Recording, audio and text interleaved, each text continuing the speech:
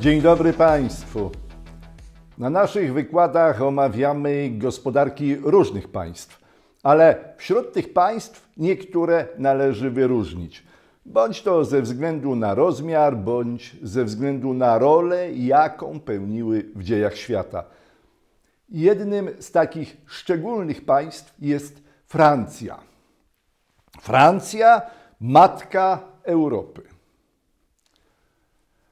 Dzisiejsza Francja. Z czym nam się kojarzy dzisiejsza Francja?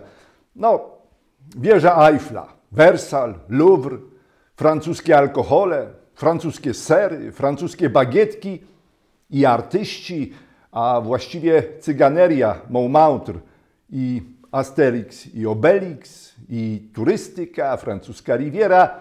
No, tych skojarzeń mamy wiele. A gospodarka? No, widzę, że w zestawieniu Global Fortune 500 jest aż 31 francuskich kompanii. A dla porównania największy polski Orlen ma mniejsze obroty, mniejszą sprzedaż niż ostatnia z tych 31 francuskich spółek. Tak, naszych marek nie ma wśród największych, a francuskich marek jest wiele. Polskie największe kompanie, no jakie są? Biedronka, Eurocash, ArcelorMittal, Volkswagen, Lidl, Tesco, Orange, BP, Philip Morris, Auchan, Kaufland. To są te największe polskie kompanie. Proszę zobaczyć na zestawienie. Czy one są polskie? We Francji te największe kompanie są francuskie. Proszę popatrzeć na główne siedziby. Są we Francji. A w Polsce? W Polsce jest inaczej. Największe kompanie w Polsce są zagraniczne. Już to pierwsze zetknięcie gospodarek pokazuje, że nasze kraje nie grają w tych samych ligach.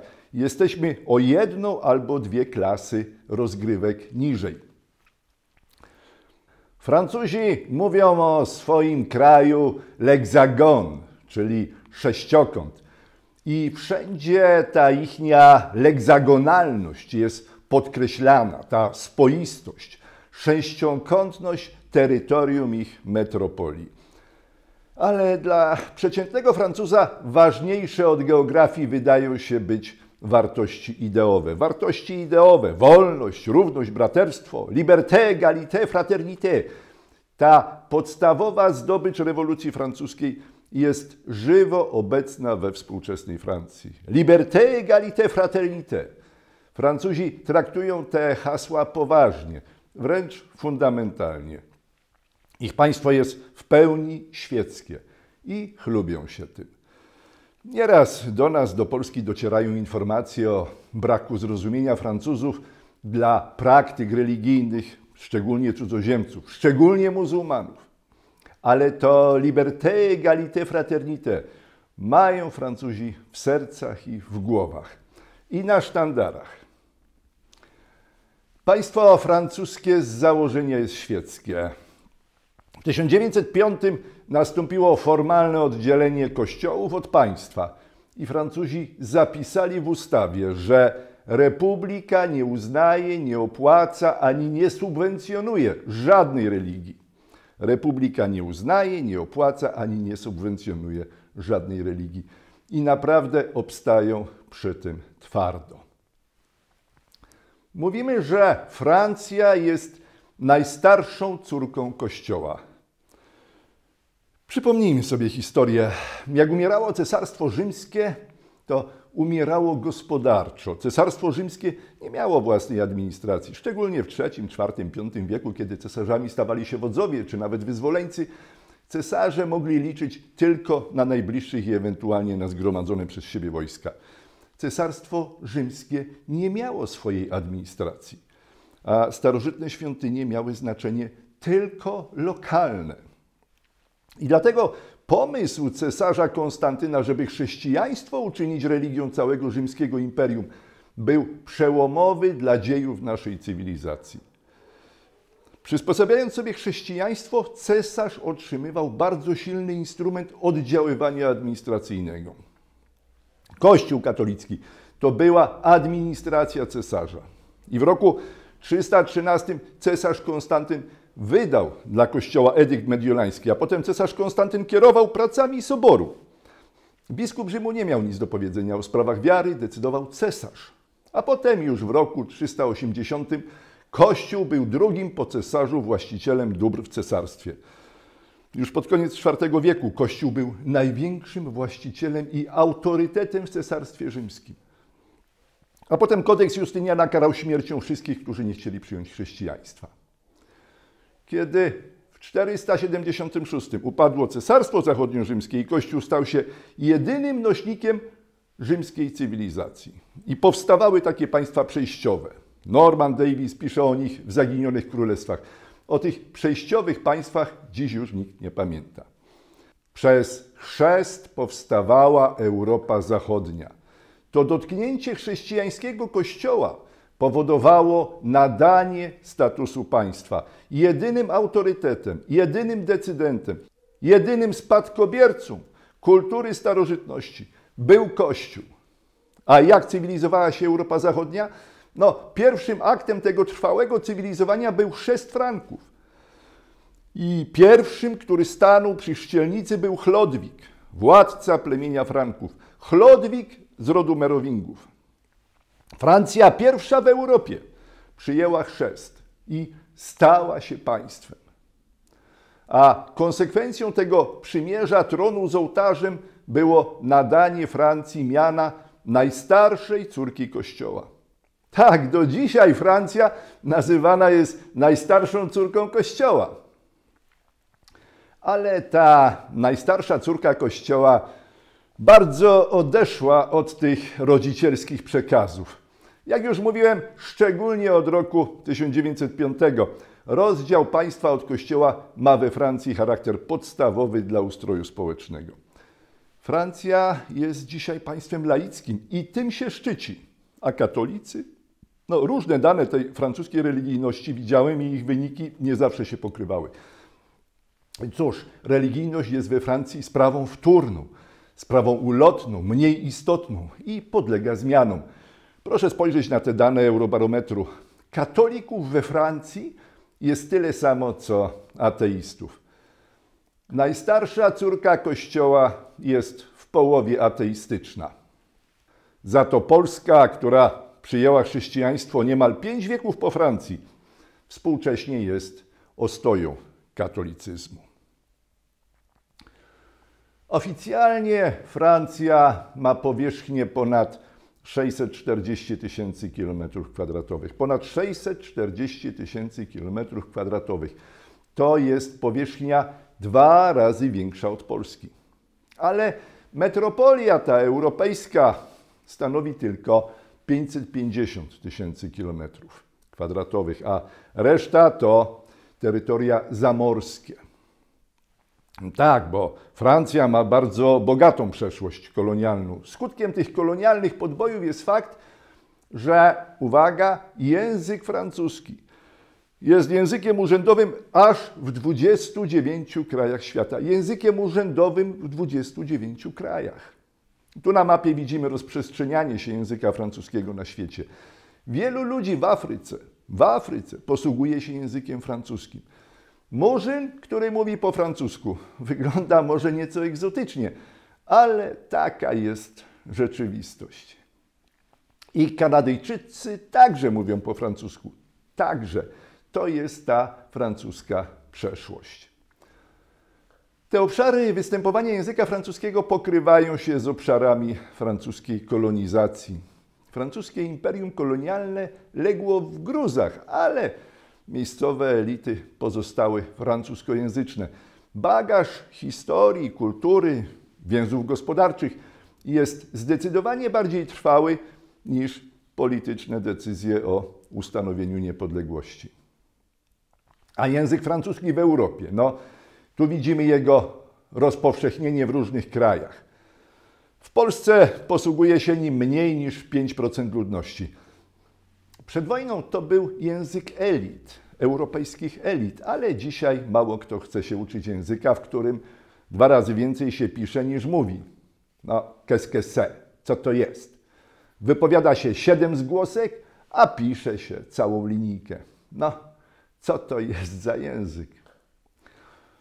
Poza Francją francuski rozpowszechniony jest w stopniu znacznym w Kanadzie. No, kiedyś Kanada to była tak zwana Nowa Francja, a dziś to już bardziej historyczna zaszłość, ale elity nie rezygnują z tradycji i przyzwyczajeń. Tak jak mówiłem, francuski jest językiem urzędowym także w dawnych francuskich koloniach w Afryce. Prognozy mówią, że ze względu na te afrykańskie kraje w 2050 roku liczba mówiących po francusku osiągnie 650 milionów osób. Dzisiaj językiem francuskim posługuje się 300 milionów osób, a za 20 lat to będzie już 650. A Żydzi taki czuły punkt europejskiej historii. Przed II wojną światową we Francji mieszkało 300 tysięcy Żydów. Jaki był ich los? No, co najmniej 70 tysięcy zginęło w Holokauście. Ogromną większość łapanek Żydów przeprowadziła francuska policja i francuscy urzędnicy. Przez lata o tym milczano, ale po latach milczenia przyszła odwaga. To Francuzi, a nie Niemcy, byli tymi bezpośrednimi sprawcami Holokaustu Żydów. Francuzi łapali Żydów i wysyłali do niemieckich obozów koncentracyjnych. A w obozach Niemcy dopełniali reszty. Francuzi kolaborowali z Niemcami. A kiedy spojrzymy na liczbę odznaczonych medalem Sprawiedliwego wśród narodów świata, to Francuzi są na trzecim miejscu. Przyznam, że nie potrafię zrozumieć tej dziejowej sprawiedliwości, która holenderskim i francuskim kolaborantom przyznała tak dużą liczbę medali sprawiedliwych wśród narodów świata. Powiedziałem o francuskich kolaborantach. Druga wojna światowa rozstrzygnęła się na Zachodzie w kilka tygodni i po przegranej Francja podzielona została na część zajętą bezpośrednio przez Niemców i na kolaborujące południe ze stolicą Vichy. Vichy zachowało francuskie kolonie. Czy to jest chlubna karta historii Francji? No, na pewno nie. Kiedyś Francuzi mówili o Vichy, że było to marionetkowe, zależne od Niemców państwo. A dzisiaj przyznają, że Vichy wcale takie marionetkowe nie było. Vichy nie było podporządkowane Niemcom, nawet pozostawało formalnie w stanie wojny z Niemcami. Po prostu Vichy skupiło tę część narodu francuskiego, która podzielała dyktatorskie, a może nawet nazistowskie poglądy. Vichy miało swój program polityczny i podzielało hitlerowskie oceny. Vichy, takie hitlerowskie państwo Francuzów, to jest ta niechlubna karta historii. Francuzi kolaborowali z Niemcami, Francuzi wydawali Żydów, a jednak tylko czterech, tylko czterech urzędników Vichy osądzonych zostało za zbrodnie przeciwko ludzkości. Tylko czterech. No, historia nie bywa sprawiedliwa. Polska i Francja. Czy można porównać nasze kraje? No, to trochę tak, jakby na ringu mieli się spotkać bokserzy różnych kategorii wagowych. Walkę pooglądać można, ale, ale nie należy być zdziwionym, jeśli wygra bokser kategorii cięższej. Francja, Niemcy, Włochy i Wielka Brytania to historycznie pierwsza liga Europy. A my? No, my w konfrontacji z nimi zdecydowanie ustępowaliśmy i zdecydowanie ustępujemy, choć w naszej części Europy jesteśmy państwem znaczącym. No to zróbmy takie porównanie z pewnym dystansem, z pewną świadomością, żeby pokazać, ile nam jeszcze brakuje, gdybyśmy chcieli być tym pierwszoligowym państwem europejskim. Ludność. Nas, mieszkańców Polski, jest 38 milionów, a mieszkańców Francji, no, tu już przy liczbie mieszkańców natrafiamy na problemy. Niektóre dane międzynarodowe mówią o 65 milionach, a dane francuskiego GUS-u o 67 milionach mieszkańców. Dwa miliony różnicy, dużo. No, w dodatku liczba ludności Francji dynamicznie rośnie. Proszę zobaczyć, od naszych przemian ustrojowych, od roku 1990 we Francji liczba ludności wzrosła o co najmniej 8,5 miliona, a u nas liczba ludności spadła. i nadal spada. To jest bardzo ważna różnica. Demografia. Terytorium. No tu w Europie ten ich legzagon jest 80% większy niż powierzchnia Polski. Ale gdyby uwzględnić całość terytorium, także te francuskie terytoria zamorskie, to Francja jest powierzchniowo ponad dwa razy większa od Polski. 80% więcej mają ludności, 100% więcej mają obszaru. To jednak są różne kategorie. No po prostu są to klasy od nas więksi. A do tego pamiętajmy, że Francuzi mają wiele światowych marek, a my, no, my nie mamy żadnej światowej marki, przynajmniej nie w tym stopniu, jak znane są francuskie marki. I choć ambicje mamy spore, to każdy widzi, że dużo nam jeszcze do nich brakuje. Nas, Polaków i ich Francuzów, przedzielają geograficznie Niemcy. Wspólnie te trzy kraje tworzą trójkąt weimarski. Trójkąt weimarski to prawie połowa gospodarki Unii Europejskiej. Tak, te nasze trzy kraje budują połowę gospodarki Unii Europejskiej. Ale uczciwie rzecz biorąc, nasz udział w tym trójkącie, w tej połowie gospodarki Unii Europejskiej wynosi zaledwie 13%, a udział Francji i Niemiec to 87%, prawie 90% trójkąta, to te dwa kraje. Trójkąt weimarski mógłby być lokomotywą napędową Unii Europejskiej, ale znowu uczciwie rzecz biorąc, nasz udział byłby w tym trójkącie no, bardziej symboliczny. Te wszystkie geopolityczne dyrdymały o wyjątkowym znaczeniu naszego kraju, te wszystkie bajki z mchu i paproci nie wytrzymują próby konfrontacji z realiami gospodarczymi. Ci wszyscy geopolityczni opowiadacze rozbijają się o realia gospodarcze, o liczby. A jak się nie ma gospodarki, to się nie ma żadnego realnego wpływu. Zawsze to siła gospodarki decyduje o realnych możliwościach oddziaływania. Tak, gospodarczo niewiele znaczymy. Francja to znaczący podmiot. Możemy to zaobserwować na kolejnych wykresach, a my przy niej jeszcze niewiele znaczymy. Francuzi są statystycznie bogaci, a my jeszcze na początku drogi. Dla większości z nas, którzy pamiętamy jeszcze przemiany ustrojowe, może to się wydawać nieco dziwne, że po tylu latach niewiele się zmieniło. My się wprawdzie szybko rozwijamy, ale oni jeszcze szybciej uciekają. Pamiętajmy, że to my pracujemy w ich przedsiębiorstwach, to my pracujemy na ich zyski, a nie odwrotnie. Te nasze porównania Polski do Francji trochę przypominają zestawienia Dawida z Goliatem. Ale warto czasami robić takie porównania, żeby wiedzieć, gdzie te nasze polskie miejsce w Europie jest. Warto robić takie porównania, żeby dostrzegać realia, a nie tylko propagandę z telewizorni. Pamiętajmy, że to my pracujemy we francuskich przedsiębiorstwach. To my pracujemy na francuskie zyski, a nie odwrotnie. No, produktywność. Wydaje się, że u nas Polsce dużo się zmieniło, ale przecież francuska produktywność jest na poziomie Stanów Zjednoczonych. A nawet, a nawet ciut wyższa. Jeszcze nas, Polaków i Francuzów, dużo dzieli.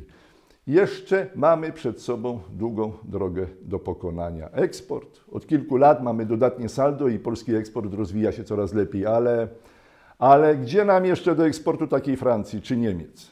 Poza tym, no cóż, uczciwie mówiąc, to ich fabryki w Polsce eksportują. To oni podejmują decyzję o wielkości polskiego eksportu. Oni decydują o wielkości polskiego eksportu. My dajemy im tylko nasze ręce do pracy i zachęcamy korzystnym kursem wymiany złotówki na euro.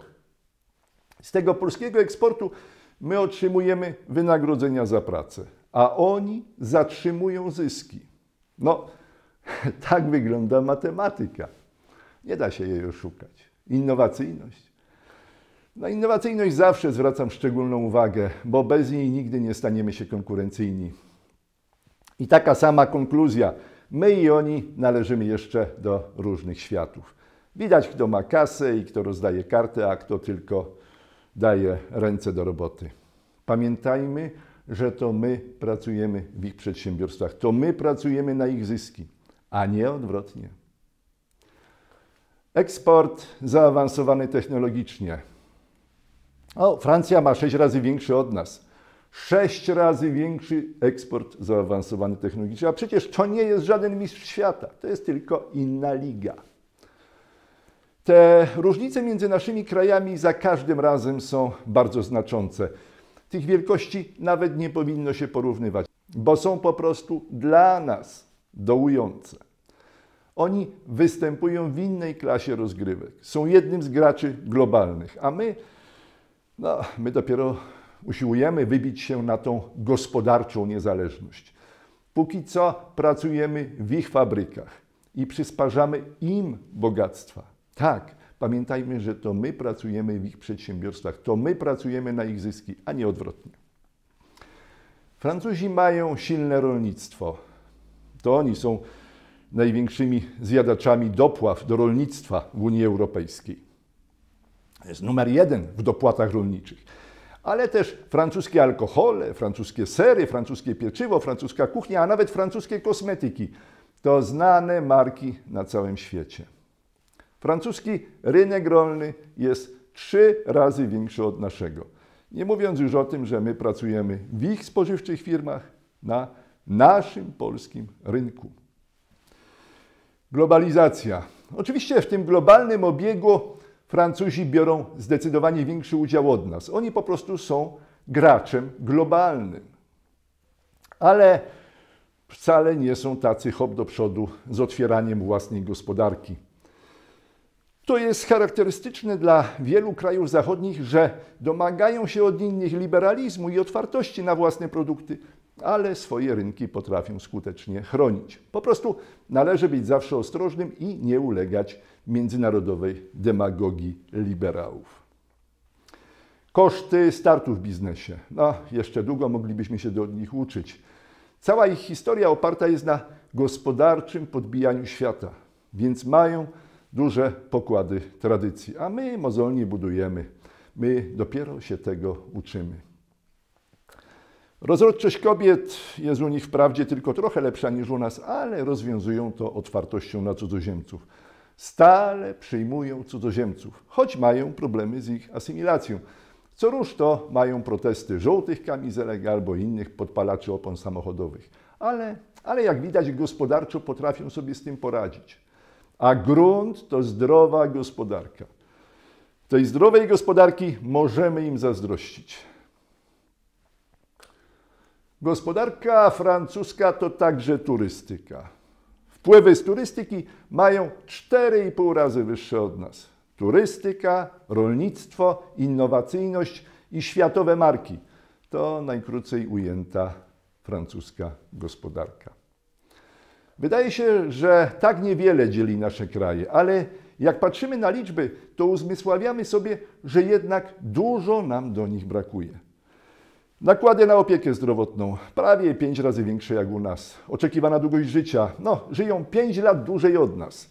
Czy 5 lat życia dłużej to znacząca wielkość? Niech każdy sobie sam odpowie. Indeks rozwoju społecznego to samo. Jeszcze dużo mamy do nadrobienia. A poczucie szczęśliwości? No właśnie. A jakie jest nasze poczucie szczęśliwości? Otóż wbrew temu, co mówi oficjalna telewizornia, to oni czują się bardziej szczęśliwi od nas. Zatem nie ulegajmy propagandzie telewizorni. Tam po prostu się żyje lepiej. No i poza tym to my pracujemy w ich przedsiębiorstwach, to my pracujemy na ich zyski, a nie odwrotnie.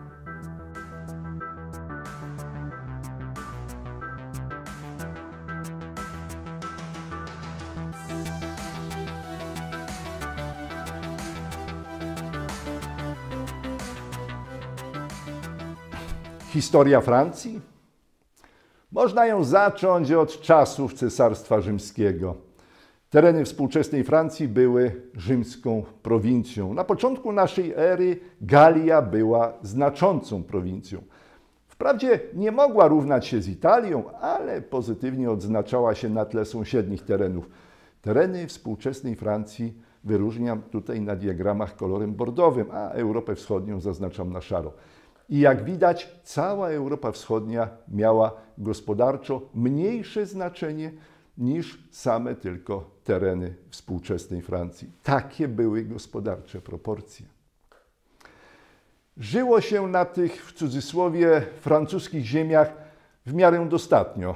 Nie był to poziom Italii, ale klimat sprzyjał gospodarowaniu i zasiedlenie tych ziem było zawsze znaczne. Tu jeszcze raz na mapie cesarstwa widzimy przybliżony poziom życia w poszczególnych prowincjach.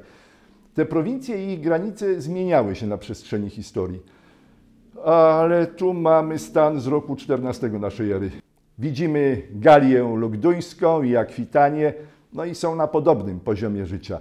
Za to Galia Narbońska, którą Rzymianie nazywali naszą prowincją, po ich niemu prowincja Nostra, wyróżniała się większym dostatkiem. I w tej prowincja Nostra żyło się lepiej. Widzimy także, że lepiej żyło się na Korsyce. Korsyka należy dziś do Francji.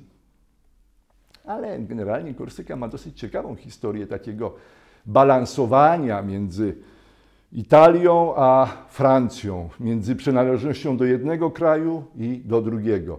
Mają Korsykanie najstarszą na świecie konstytucję z 1755 roku. Zresztą, nomen, nomen napisana po włosku. Ta konstytucja jest starsza i od amerykańskiej, i od naszej konstytucji 3 maja z 1791 roku. No i warto wspomnieć o najsławniejszym Korsykaninie, czyli Napoleonie Bonaparte, który na tej wyspie w drugiej połowie XVIII wieku się urodził. Akurat wtedy wyspa należała do Francji i dalsza kariera Napoleona związana była już z Francją. Tutaj widzimy jeszcze gospodarcze znaczenie poszczególnych prowincji w początku I wieku. Italia, a potem Anatolia, czyli dzisiejsza Turcja, no i tradycyjnie Śpichlerz starożytności, czyli Egipt. To były najbogatsze prowincje imperium. Ale Galia też miała swoje gospodarcze, wcale niepośrednie znaczenie. Tu widzimy jeszcze szlaki handlowe Imperium Rzymskiego. Lugdunum, czyli współczesny półmilionowy Lyon. Wtedy był stolicą Galii Lugduńskiej. I widzimy jeszcze Arles, które już takiej kariery na miarę Lyonu nie zrobiło i dzisiaj jest to już tylko niewielkie, w sumie 50-tysięczne miasteczko. Takie rolniczo-turystyczne miasteczko. Tak, te tereny w okresie Cesarstwa Rzymskiego administrowane były przez Rzymian. Ale przecież zasiedlili je sporo wcześniej Celtowie. Tu już mamy podział Cesarstwa Rzymskiego na diecezję. To jest początek IV wieku. To już okres późnego cesarstwa, ten IV wiek. Diecezje, czyli biskupstwa, jednostki administracyjne zarządzane przez biskupów. To jest IV wiek Cesarstwa Rzymskiego.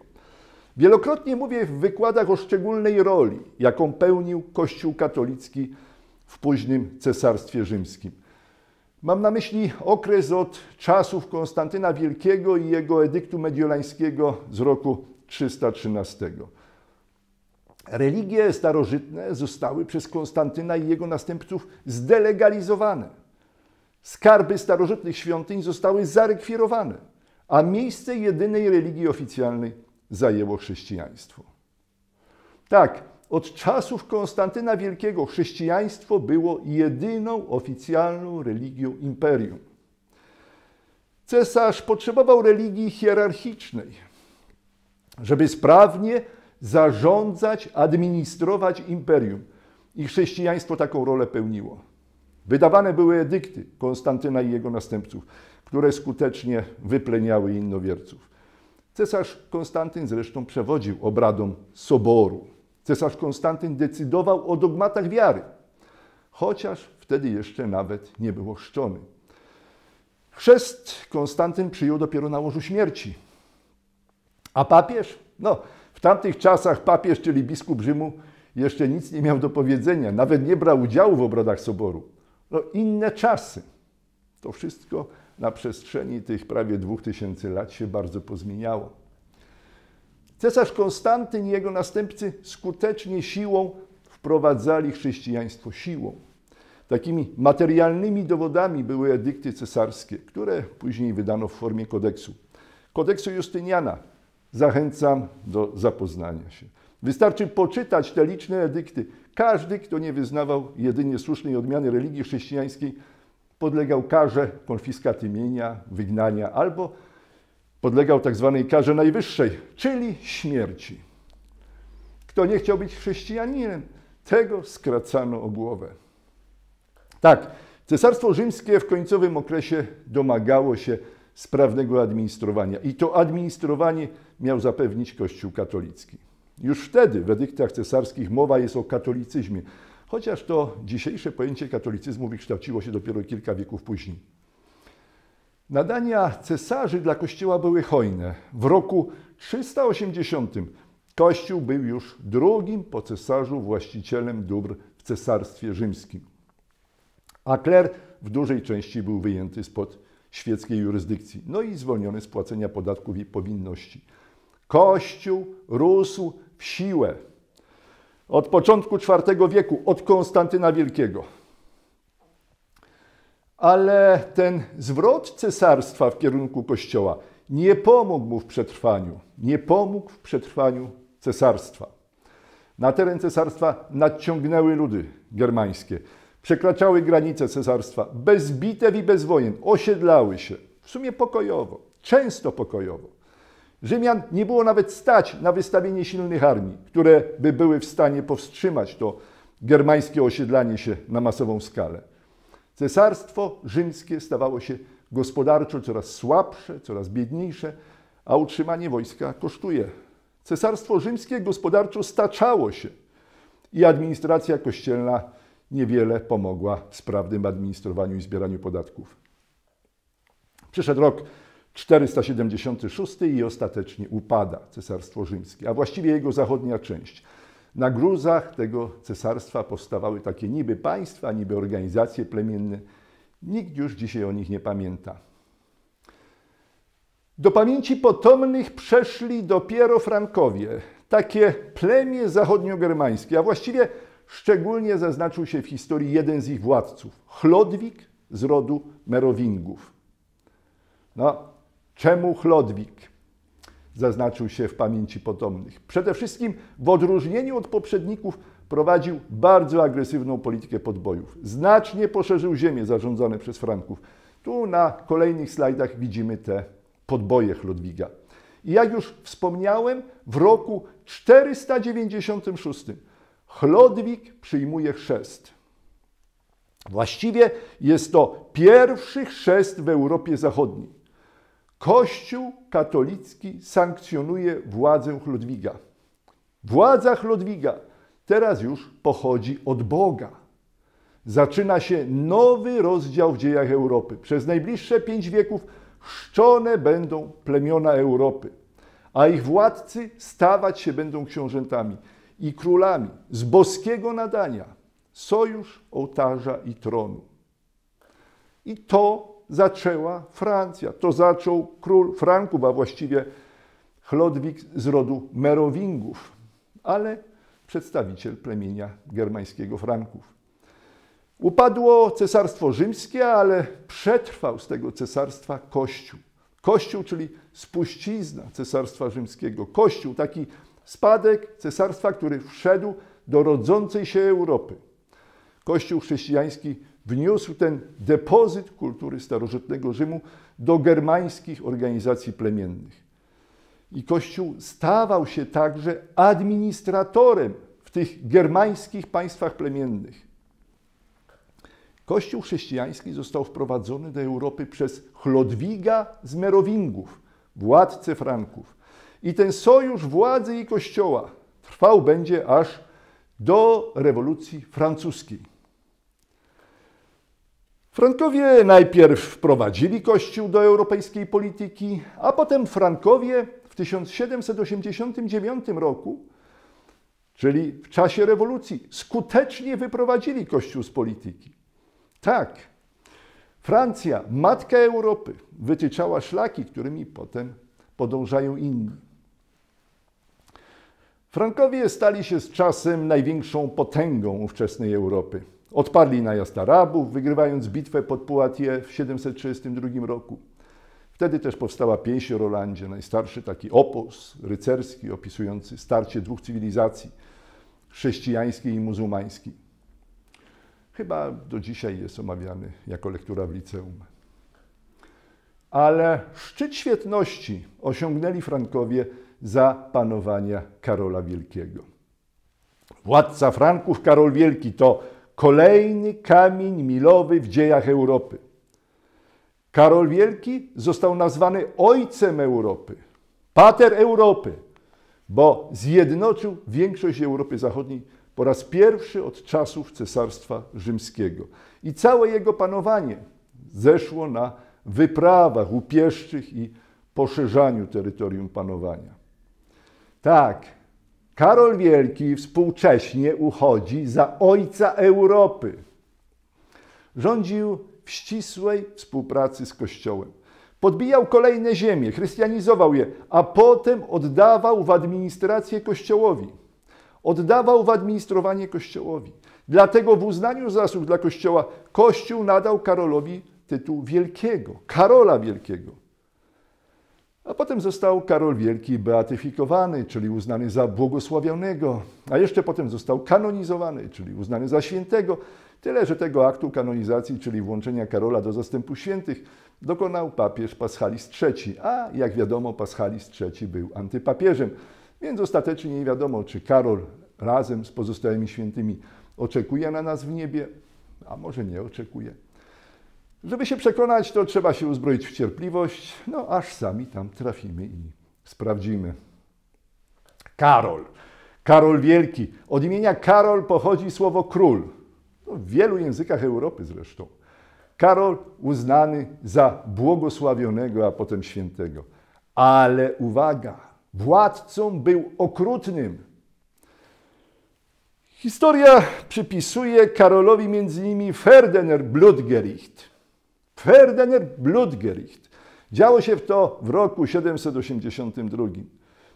Na polach Ferden u zbiegu rzek Wezery i Aller zgromadzonych było około 4,5 tysiąca jeńców saskich. I Karol Wielki, powołany potem do grona błogosławionych i świętych, kazał tych bezbronnych jeńców wyciąć do nogi. A jak już ziemia nasiąkła krwią tych 4,5 tysiąca zabitych, to wzniósł na jej miejscu katedrę na miejscu tego mordu. Ku czci Boga i ku chwale Kościoła. Karol Wielki, władca Franków, ojciec Europy. Ferdener Blutgericht. A potem w roku 800 już po Ferdener Blutgericht koronowany został przez Kościół na cesarza. Właściwie stał się tak potężny, że sam wziął koronę z rąk papieża i nałożył sobie na głowę. Pierwszy cesarz w Europie był Frankiem.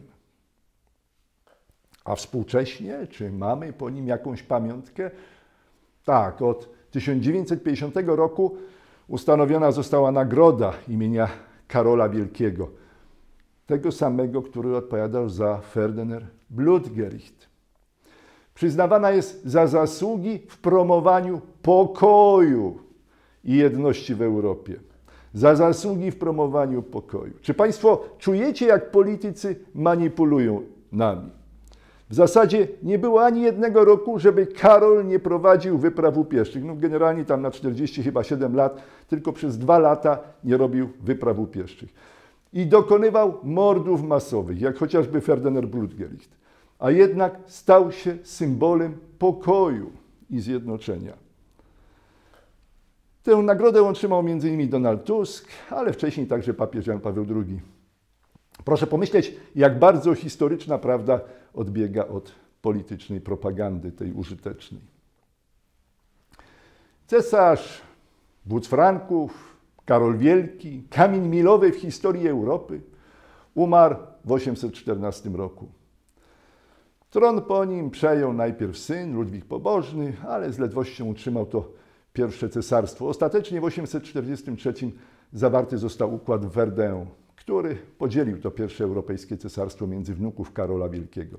I to Verdun dało umowny początek późniejszej historii Francji i Niemiec.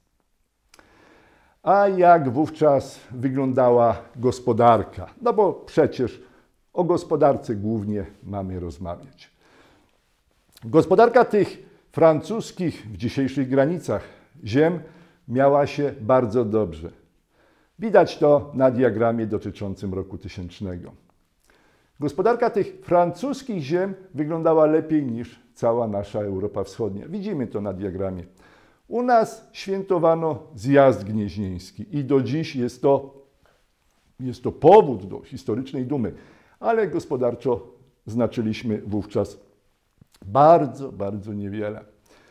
Demografia, no, było całkiem podobnie. Te tereny, które nazywamy francuskimi, były najlepiej zaludnione.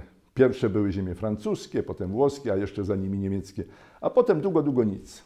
A jak spojrzymy na Europę Wschodnią, to widzimy, że te nasze największe wówczas kraje, Czechy i Polska, to zaledwie jedna piąta zaludnienia ziem francuskich. Na zachodzie rodziły się miasta i miejska gospodarka, a u nas jeszcze przeważały lasy i wsie. Mamy trochę inny klimat, mniej korzystny dla spontanicznego zasiedlania. Europa, a z nią Francja, przeżywała wyprawy krzyżowe, które ciągnęły się przez dwa wieki. Przeżywała także wewnętrzne walki konkurencyjne między wielkimi rodami. Kapetyngowie walczyli z plantażenetami, co można by umownie przedstawić jako rywalizację francusko-angielską. Przewaga częściej była po stronie francuskiej, a gospodarczo? No, gospodarczo tu widzimy na wykresie. Gospodarka ziem francuskich rosła w siłę, a ziem angielskich jakby, jakby mniej. Potem w XIV wieku te nasze wschodnio i zachodnioeuropejskie historie nieco się rozjechały. Najpierw oni mieli klęski głodu. W XIV wieku te klęski były dla ziem francuskich wyjątkowo dotkliwe. Tu na slajdzie podaję kolejne daty szczególnie dotkliwych klęsk głodu. W literaturze często powielana jest informacja, że w części tej wiejskiej Francji na początku XIV wieku wiele terenów było gęściej zaludnionych niż obecnie. Byli wtedy gęściej zaludnieni. W Europie to odradzanie demografii trwało do XIX wieku. Relacje mówią, że wówczas, w XIV wieku, głód był tak dotkliwy, że kanibalizm, w szczególności zjadanie dzieci, wcale nie było czymś nadzwyczajnym. Zresztą te klęski głodu bywały i wcześniej na francuskich ziemiach. Bywały w okresie Cesarstwa Rzymskiego i bywały po jego upadku. Oprócz tych specyficznie francuskich klęsk głodu, bywały i takie, które nawiedzały całą Europę. Proszę Państwa, historia Zachodu to przede wszystkim gospodarka. A u nas mówi się niemal wyłącznie o bitwach, o wodzach i o bohaterstwie uczestników. Niby mamy jeden kontynent, a tak różne widzenie historii. W tym XIV wieku Europę zachodnią nawiedzała, głównie zachodnią, nawiedzała czarna śmierć, czyli epidemia dżumy. Nasze polskie ziemie wyszły bardziej obronną ręką, ale francuskie już niekoniecznie. Te relacje o czarnej śmierci w Polsce były w zasadzie poza Janem Długoszem nieobecne. Stąd są obecnie także twierdzenia, że ziemie polskie zaraza ominęła ale spory się toczą, stanowiska są podzielone. Za to w Europie żniwo śmierci było znaczne. Szacuje się, że czarna śmierć unicestwiła od 30 do 60% ludności ówczesnej Europy. Jaki był gospodarczy obraz tego okresu? No, gospodarczo ziemie francuskie ustępowały Italii, no ale Italia rozwijała się głównie dzięki handlowi Genui i Wenecji na Morzu Śródziemnym i na Morzu Czarnym. Handel był zawsze zajęciem zyskownym, szczególnie na Półwyspie Apenińskim. Żydzi, no, Żydzi to było utrapienie europejskiej historii. Wydaje się, że miał w tym niemały udział Kościół katolicki. Przez wiele wieków Żydzi byli tym gorszym rodzajem człowieka. Trochę inaczej jak obecnie. W miastach Żydzi zamieszkiwali wygrodzone getta, a ich wypędzenia były stałym elementem życia miejskich społeczności z Francji Żydów wypędzano wiele razy, ale, Ale statystycznie najwięcej wypędzani byli z Italii, a potem z Niemiec, a Francuzi to byli jakby mniej popędliwi w tym wypędzaniu Żydów. Mistrzami świata byli Włosi. I popatrzmy znowu na gospodarkę. Po tej dżumie i klęskach głodu we Francji i rozwoju morskiego handlu we włoskich republikach na miejsce europejskiego lidera wkroczyła wtedy Italia. Francja nieco tym Włochom ustępuje. Widzimy to na wykresach. A potem jest długo, długo nic i, i Niemcy. I znowu duża przerwa i ziemie brytyjskie. A nasza Europa Wschodnia. No, wygląda na to, że im te klęski głodu i czarnej śmierci zaszkodziły, a jednak zostawili nas znowu gospodarczo w tyle. Ten gospodarczy dystans do Francji wzrósł i już nawet Niemcy nas wyprzedziły. Proszę popatrzeć, tu już rok 1500 i liczba ludności. Polska zaznaczona na ten kolor żółto-złoty. W Europie Wschodniej już nieśmiało liderujemy. I to liderowanie zachowamy do dzisiaj. Ale do takich gigantów jak Francja, Niemcy, Włochy czy nawet Hiszpania tracimy kilka długości. I znowuż, i to pozostanie aż do dzisiaj, przez tyle wieków. Europa Wschodnia ciągle w tyle, ciągle zacofana przez całą historię. No takie są liczby. No i jak spojrzymy na ówczesną produkcję na głowę mieszkańca, to widzimy, że Italia jest zdecydowanie na czele. Tu mamy pierwszą połowę XV wieku. Italia jest najbogatszym krajem Europy. Wszystkie oczy zwrócone są na Italię i na ich zbytek. A ten włoski zbytek nazywał się odrodzenie. Włoskie odrodzenie. Leonardo da Vinci, Michał Anioł, Dante Alighieri, Machiavelli, Michał z Montaigne, Petrarka i tak dalej, i tak dalej, i tak dalej. A potem europejskie odrodzenie. Mieszkańcom Italii powodziło się tak dobrze, że mogli rozwijać kulturę, a reszta Europy chciała te wzorce naśladować. Bo my ludzie zawsze dążymy do bogactwa i staramy się naśladować tych, którzy to bogactwo mają. A my, a nasza polska gospodarka wówczas, jak my mieliśmy się gospodarczo do ziem francuskich? Jakie były proporcje naszej gospodarki? My byliśmy mniej więcej w połowie francuskiej gospodarki. Czasem trochę lepiej, czasem trochę słabiej. Tu na wykresie mamy okres dwóch i pół wieku naszej historii gospodarczej. Najbliżej nam do siebie na początku drugiej połowy XVI wieku. No, co to za okres?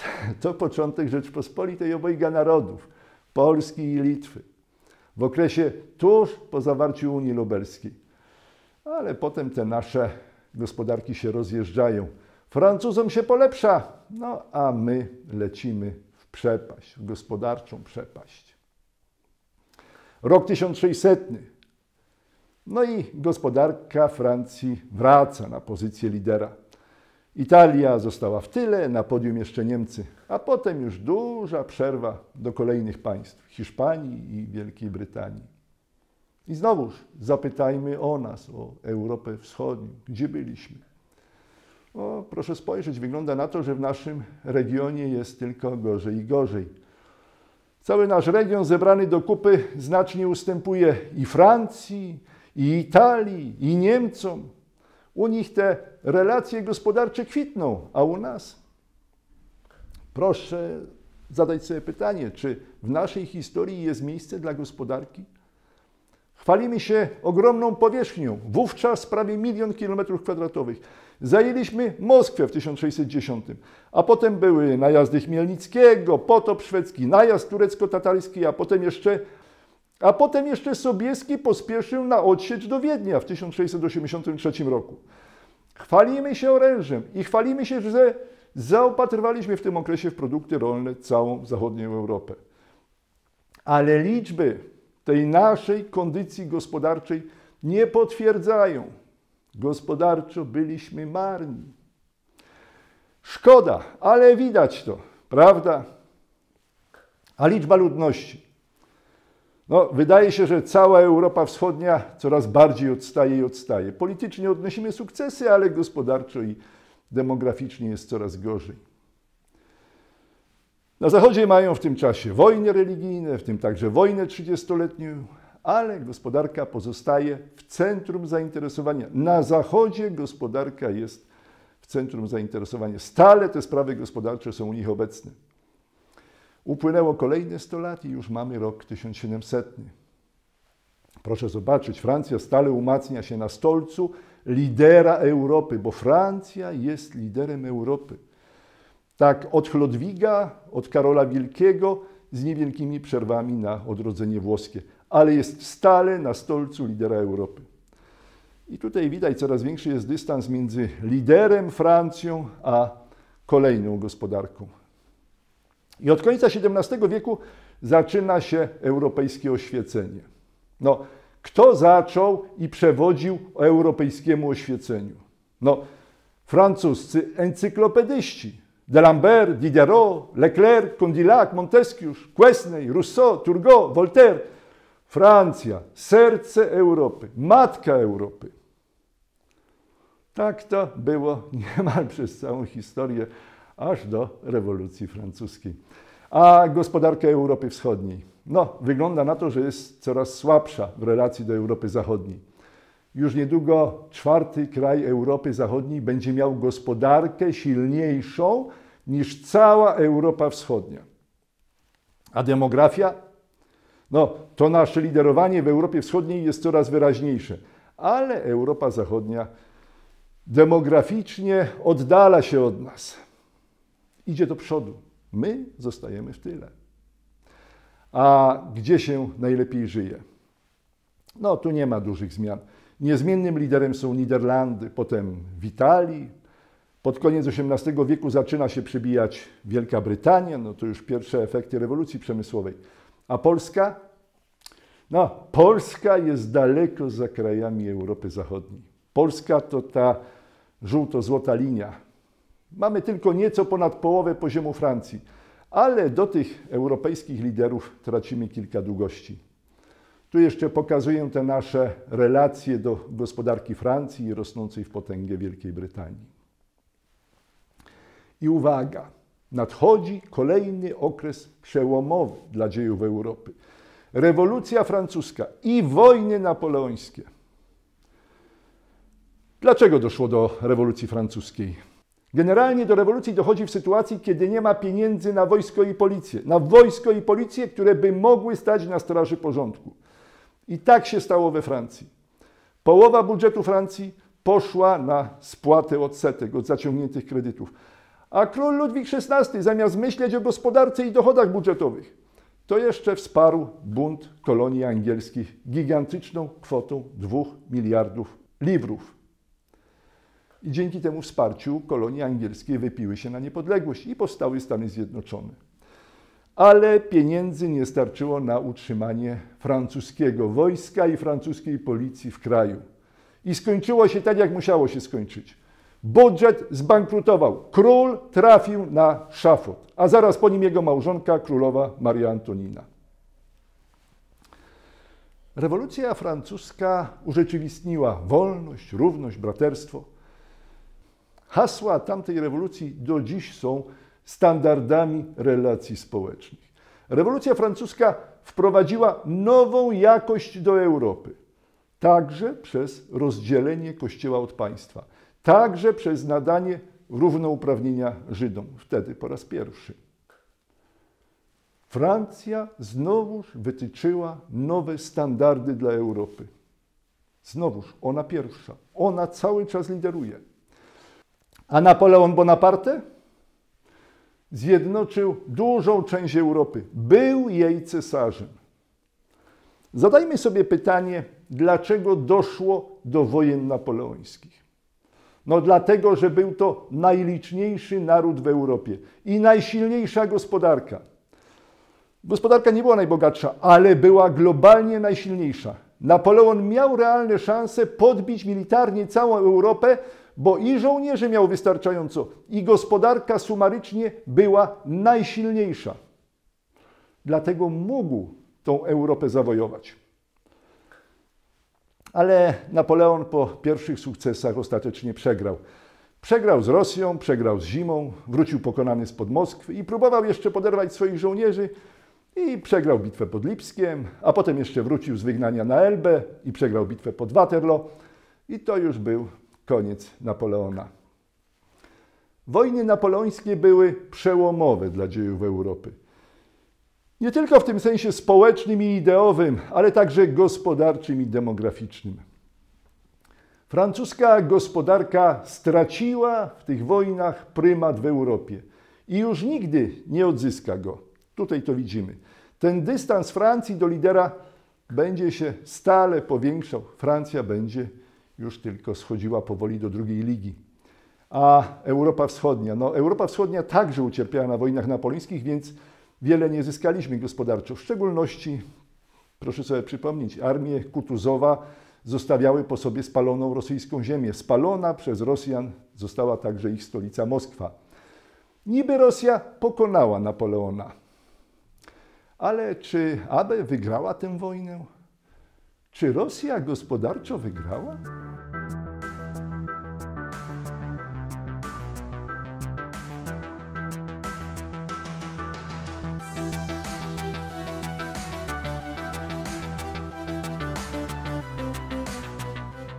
Po napoleońskich wojnach ludnościowo Francuzi są jeszcze przez kilka dekad na pierwszym miejscu w Europie. Ale to już tylko ostatnie podrygi. Niebawem wejdą w smugę cienia, niebawem ustąpią miejsca innym, a sami staną się tylko strażnikami zdobyczy rewolucji francuskiej.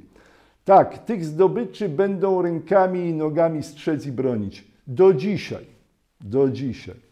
To są ich najważniejsze wartości. Nic nowego się nie urodziło. Zeszli na drugi plan. Nic nowego po rewolucji już nie powstało. My, Polacy, umacniamy to nasze liderowanie w Europie Wschodniej, ale większych zmian nie ma. No może poza tym, że demograficznie przeskakujemy Turcję.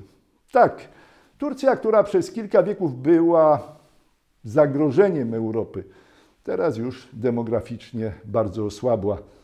Rok 1850 mija kolejne 50 lat, ale demografia się jeszcze nie załamuje. Tyle tylko, że Niemcy już idą demograficznie prawie łeb, łeb z Francją. Prusy budują swoją potęgę, ale do konfrontacji jeszcze nie doszło. Konflikt jeszcze, ten konflikt z Francją dojrzewa. I wreszcie wojna, ta wyczekiwana wojna wybuchła. Rok 1870. Naprzeciwko siebie stoją dwie równe gospodarki. Państwo widzicie, Francja i Niemcy. Są w tym momencie łeb w łeb. Tyle, że Niemcy są na ścieżce wzrostu, a Francuzi są na ścieżce spadku, w odwrocie. To taki stan równowagi chwilowej, przejściowej, pozornej. Rezultat nie trudno będzie przewidzieć. Francuzi prowokują tę wojnę, bo żyją jeszcze obrazem swojej chlubnej przeszłości. Ale Niemcy tę wojnę wygrają, bo ich potęga stale rośnie. Są na ścieżce wzrostowej. Polska i generalnie państwa Europy Wschodniej są w ogonie Europy. Nie mamy szans odgrywać znaczącej roli w Europie. Nie ta siła gospodarki. Jesteśmy za słabi, żeby się liczyć. Politycznie i propagandowo zawsze możemy pomachać szabelkami, ale w bezpośrednim starciu polegniemy. A tu już widzimy skutki demograficzne wojny francusko-pruskiej. Następuje definitywne załamanie demografii francuskiej i dynamiczny wzrost ludności w Niemczech. Pardon, teraz już w Cesarstwie Niemieckim, pod egidą Prus. Francja ostatecznie przegrała wojnę z Prusami i przegrała swoje liderowanie w Europie. Definitywnie. I poniosła duże, duże koszty tej wojny już się nigdy nie podniesie. A w gospodarce europejskiej? No, w gospodarce europejskiej już dawno przewodzi Wielka Brytania. Takie są skutki rewolucji przemysłowej. A po wojnie prusko-francuskiej swój gospodarczy marsz na fotel europejskiego lidera rozpoczną Niemcy, cesarstwo niemieckie. Tak już jest w naszej Europie, że to zazwyczaj lider gospodarczy zawsze ma ciągoty do dominacji nad całym kontynentem. Zawsze gospodarka dominująca wszczyna konflikty i chce całym kontynentem zawiadywać. Po wojnach napoleońskich najlepiej rozwiniętą gospodarką była brytyjska. Najwyższe wskaźniki na mieszkańca, no i była najbardziej wydajna. Wiadomo, rewolucja przemysłowa. Na bezpiecznym drugim miejscu Holendrzy, tam najszybciej dotarła z wysp rewolucja przemysłowa. Zresztą Holendrzy zawsze byli elitą gospodarczą Europy. A Francuzi w wydajności potykają się z Niemcami. W wydajności będą się potykać aż do I wojny światowej, ale w wartości globalnej to Niemcy zbudują do I wojny światowej największą gospodarkę. Tak, Niemcy staną się wkrótce gospodarczym hegemonem Europy. A kraje Europy Wschodniej, a Polska, no, nie zbudowaliśmy wydajnych gospodarek. Polska prześcignęła Portugalię, zrównała się z Hiszpanią, ale do głównych graczy brakuje nam jeszcze drugie tyle. A tu już rok 1913. Jesteśmy w przededniu wybuchu I wojny światowej. Wywołają tę wojnę Niemcy, ale widać dlaczego. Widać to, prawda? Gospodarka niemiecka jest numerem jeden w Europie. W starciu z Francuzami nie da im żadnych szans. A Wielka Brytania jest na wyspie. Może nie będzie się zbyt gorliwie angażować. Niemcy na to liczą. Polska jak zwykle jest tylko tłem dla potyczek tych gospodarczych potęg. Zresztą cała Europa Wschodnia jest gospodarczo mało znacząca. Mało znacząca. W I wojnie światowej kraje europejskie przeżywają gospodarcze załamanie. Gospodarki Wielkiej Brytanii i Niemiec odbijają się po wojnie, ale Francja już nie wróci do wyścigu o liderowanie. Dla Francji ten okres dominacji, ten okres świetności już się skończył. Francja folguje. W międzywojniu Francja żegluje już tylko w tych stanach średnich, bez aspiracji liderowania Europie. A w czasie II wojny światowej znowu następuje gospodarcze załamanie, no bo wojna toczy się na terytorium Francji także. W zestawieniu z Polską Francja może jeszcze gospodarczo imponować. Przy tych głównych graczach te gospodarcze wysiłki Francji wyglądają blado. Drugą wojnę światową Francja przegrała z Niemcami, z Kretesem. Ale przecież, jak widać, Francja miała gospodarkę niemal dwa razy mniejszą od Niemiec. Za każdym razem wystarczy porównywać siłę gospodarek, żeby przewidzieć rezultat wojny. Waleczność żołnierza jest ważna i umocnienia są ważne i geniusz dowódców jest ważny, ale gospodarka jest zawsze najważniejsza, bo żołnierz bez wyposażenia, samą odwagą nie zabije wroga, nie pokona wroga. W czasie II wojny światowej Francja otrzymywała pomoc, Lend-Lease od Amerykanów. Bardzo duża pomoc. A my? My nie otrzymywaliśmy takiej pomocy nawet w porównaniu. Chociaż to oni kolaborowali. I myśmy mieli większą zdecydowanie armię od francuskiej. Po II wojnie światowej napłynęła do Francji pomoc planu Marszala. Francja była jednym z największych beneficjentów. Znowuż ta pomoc dla Francji. Udział Francji w pokonaniu hitlerowskich Niemiec był znacznie mniejszy od chociażby polskiego udziału. No ale procentowały historyczne zaszłości. W planie Marszala my nie dostaliśmy nic, oni otrzymali wiele. Francja otrzymała znaczącą pomoc i w formie Lend-Lease, i w formie planu Marszala, i cała Europa przeżyła po wojnie okres cudu gospodarczego. Niemal każde z państw Europy Zachodniej miało swój cud gospodarczy. O, tu na slajdzie widać, jak równo i dynamicznie rosły te zachodnie gospodarki. Dynamiki wzrostu były dla każdego z państw bardzo duże, no, chociaż oczywiście nie wszystkie rozwijały się jednakowo stabilnie. Nawet w tym równym wzroście były okresy przyspieszeń niekiedy spowolnień. A tu jeszcze pokazuje nasze państwa, te były nasze państwa socjalistyczne. Z zasady im biedniejszy kraj, tym większy był wzrost. Polska też się rozwinęła, choć rozwijaliśmy się bez amerykańskiej pomocy, no i nie na miarę Francji. Cud gospodarczy nie uchronił państw europejskich przed utratą kolonii. Kolonie zaopatrywały państwa zachodnie w surowce i siłę roboczą, w koloniach nie inwestowano. Z kolonii nie wolno było sprowadzać gotowych produktów. Za sprowadzanie gotowych produktów groziła okresami kara śmierci. Dlatego upadek kolonii był kolejnym osłabieniem gospodarek państw starej Europy. A potem mieliśmy jeszcze ten okres jesieni ludów, czyli upadku socjalizmu w państwach naszej wschodniej części Europy. I mieliśmy to rozszerzenie Unii Europejskiej, które nas, jak te sieroty, przygarnęło.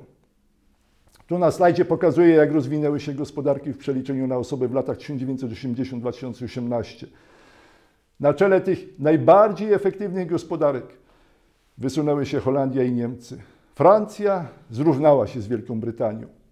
A nawet widać, że dynamika wzrostu jest we Francji mniejsza.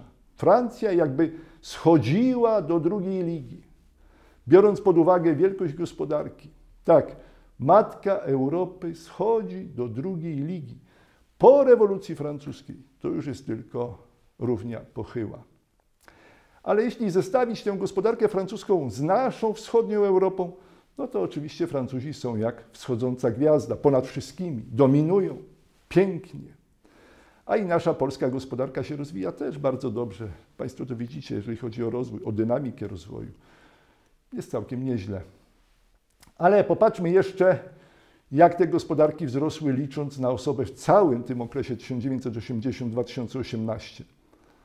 Okazuje się, że my, Polacy, jesteśmy jednym z tych państw, które najwięcej skorzystało na przemianach ustrojowych i na wstąpieniu do Unii Europejskiej. Tak, możemy być dumni z nas samych. Przecież ci nasi etatowi ekonomiści powtarzają nam w kółko tak wiele razy, jak wielkie odnosimy sukcesy. No Polska krajem sukcesu, prawda? A Francja? No, widzimy tutaj po raz kolejny, zdaje się potwierdzać tezę, że schodzi do drugiej Ligi Europy. Czy widząc te zmiany, te historyczne procesy, czy wszyscy już Państwo jesteście przekonani, że Francja, matka Europy, zestarzała się i odchodzi powoli do lamusa historii?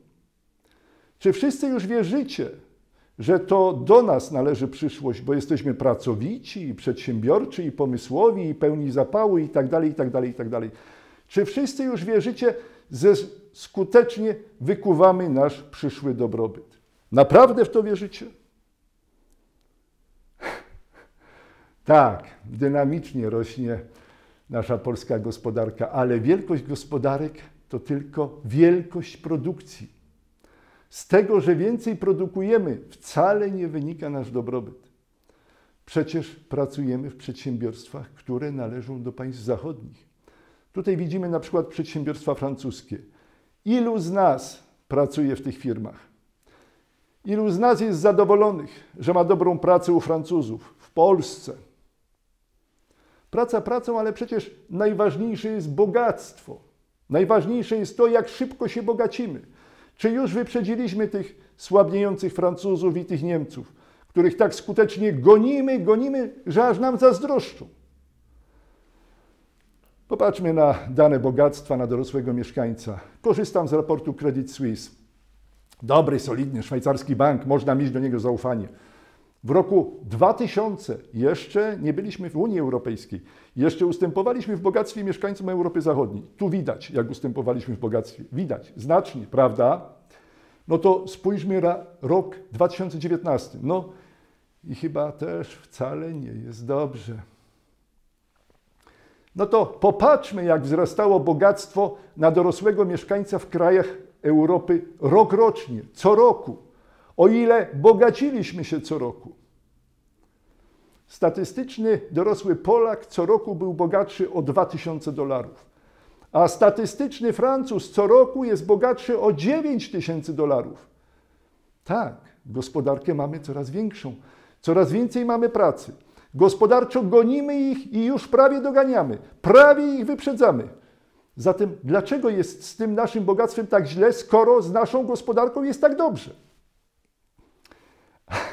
Ano dlatego, że pracujemy w obcych przedsiębiorstwach.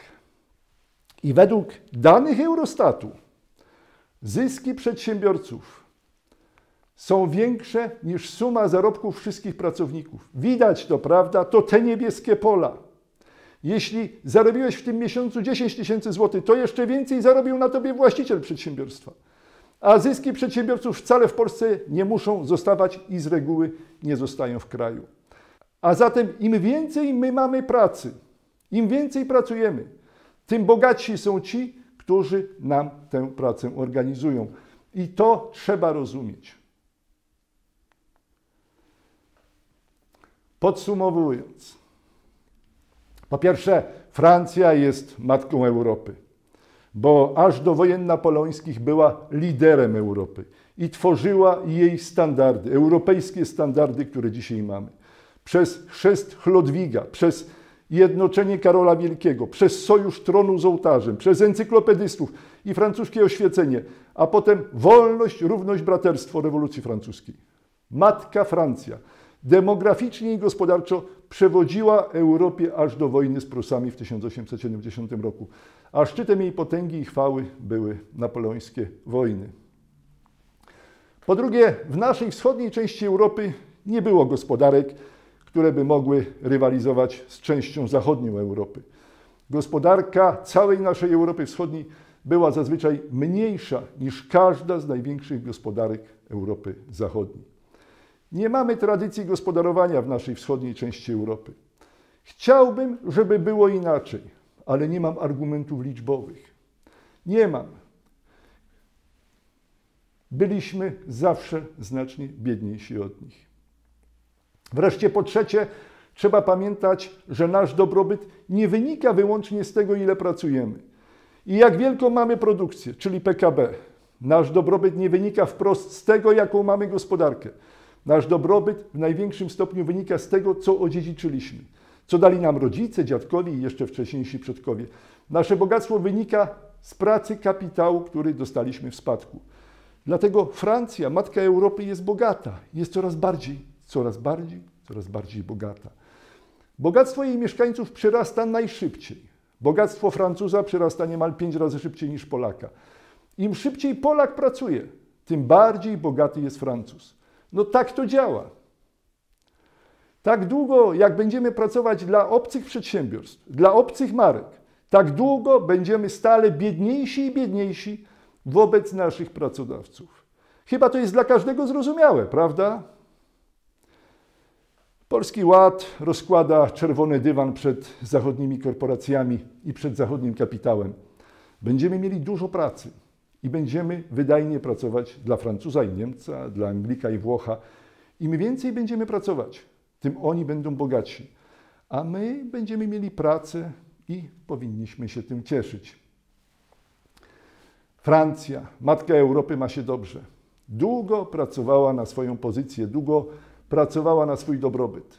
A dziś my wszyscy, Polacy, dbamy o dobrą kondycję Francji, dbamy o dostatek Francuzów. Dopóki nie będziemy mieli swoich marek, to ten stan będzie się utrzymywał. I to polecam uwadze wszystkich Państwa, a w szczególności polecam tu uwadze liberałów, którzy rozkładają czerwone dywany przed zachodnim kapitałem.